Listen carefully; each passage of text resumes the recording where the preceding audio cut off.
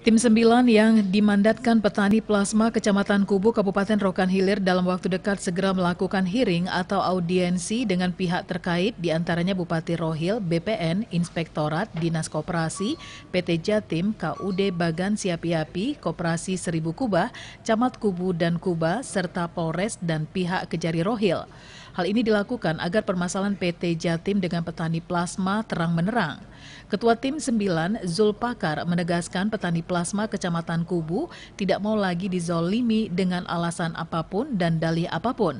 Karena tidak ada alasan PT Jatim menunda pembagian lahan plasma kepada masyarakat yang berhak menerima sesuai dalam SK Bupati nomor 35 tahun 2011.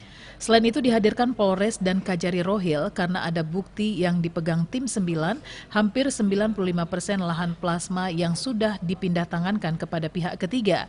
Hal ini jelas bertentangan dengan SK Bupati nomor 35 tersebut.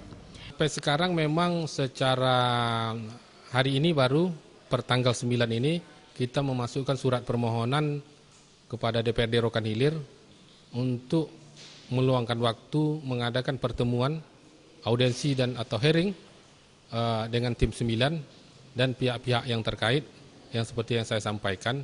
Nah, mudah-mudahan ada niat baik DPR sebagai uh, perwakilan dari masyarakat dan untuk membela kepentingan kepentingan masyarakat agar permohonan ini dari tim 9 direspon dan ditanggapi uh, secepatnya.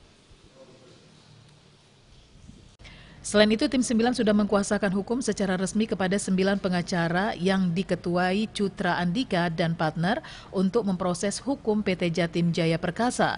Dari Bagan Siapi Api Wildani dan Julius melaporkan.